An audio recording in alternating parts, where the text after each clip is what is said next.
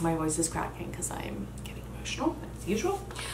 Um, motherhood is tough and uh, I'm here for it. I love it and I love my son so much that it hurts, but it is tough.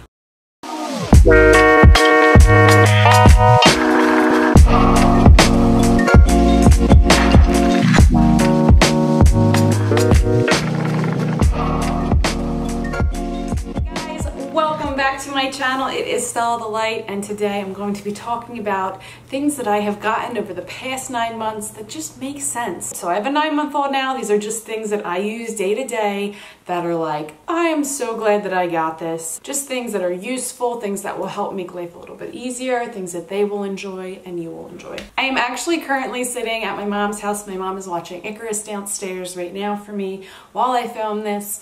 Um, and I'm actually sitting in one of my old bedrooms. So I've actually, we all have switched around bedrooms at my mom's house like several times. So I was in here when I was younger. Bunk beds were right over here with first me and my older sister Danielle, then me and my little sister. Um, and then I also think I stayed in here with two beds, I want to say, with someone. We have switched around growing up so much. So anyways, my mom is also currently getting like a pool in her backyard. So if there's anything loud going on, I'm so sorry.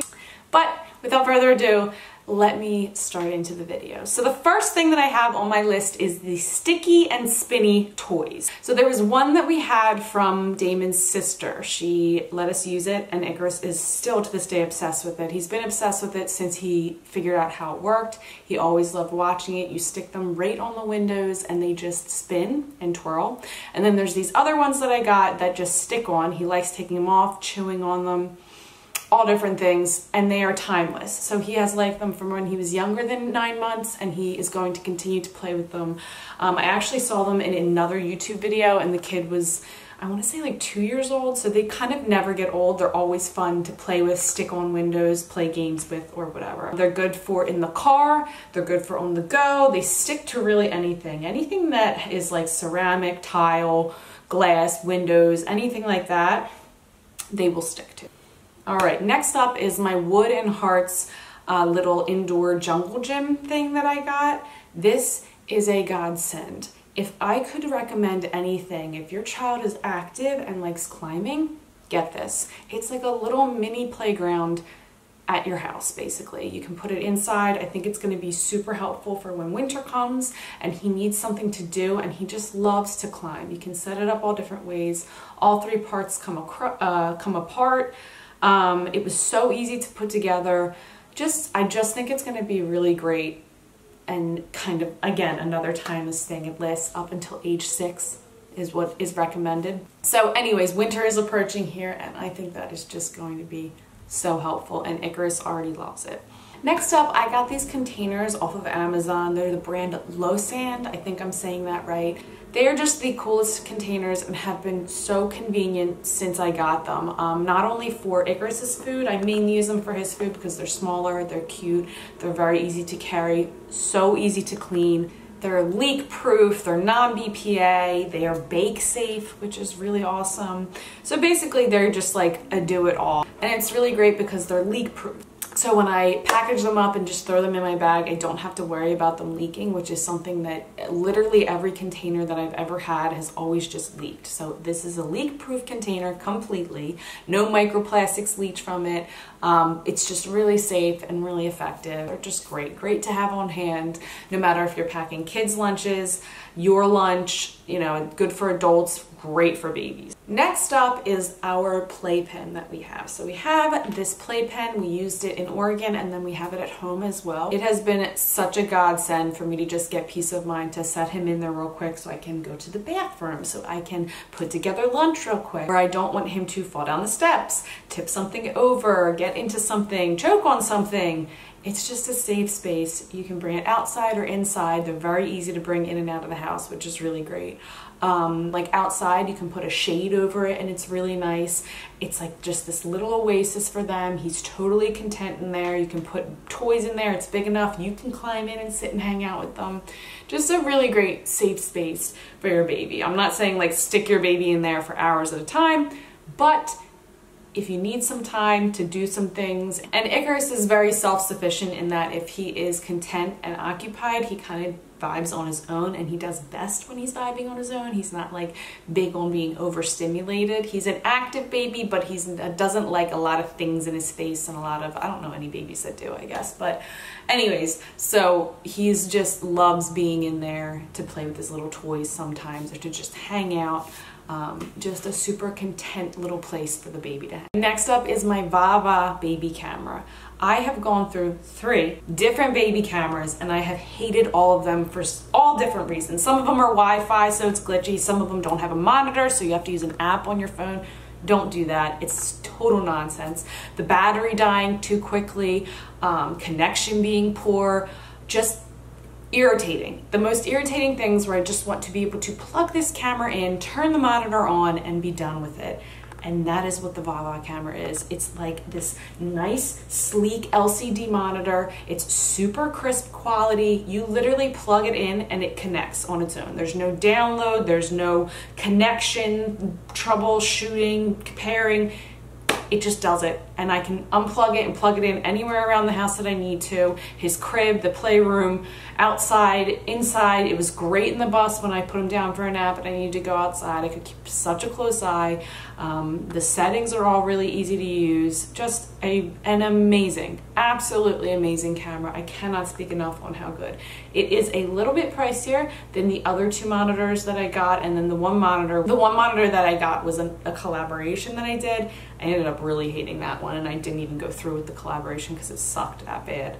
Um, but it's a little bit more pricey than those, but well, well worth it. The battery stays on for so long, which is a, a god's, I mean, do you want your battery dying in the middle of trying to watch your baby?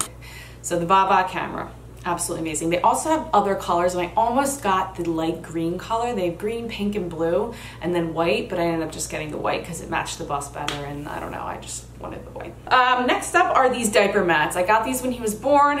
They were great for him to lay on. I don't even know if they're considered diaper mats. They're just like these little mats that you can easy, easily clean. So when he was drooling a lot and spitting up a lot, I would lay them down on the carpet, on the um, hard tile floor, anywhere, and it was just a great place for him to hang out. Changing diapers on there, amazing, because you can get poop everywhere and you just wipe that thing down. Um, the colors are very aesthetically pleasing. They could move all around. I never was really into like the diaper changing table. A little bit, I guess, but really because he's so on the go now, I just use the mats. I literally have a mat. I had a mat in the bus that I would move all around and then now at home I just move it all around at the house.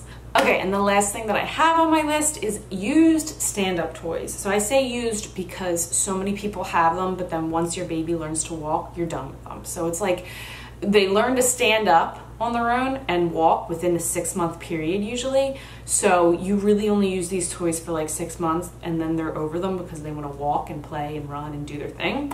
So these stand up toys off of Marketplace, Facebook Marketplace, or any used toy place that you can find, um, there's hundreds of them and they are like 30 to $100 and on Marketplace they're like 5 to $25 usually. There's so many to choose from. They really promote them to stand up on their own. I am not for the um, sit-in rolly walker things. I know it's a personal choice, but I don't like to put him in things too often. He loves his Jolly Jumper, which is I guess another must have. But the Jolly Jumper, he's moving, he was bouncing.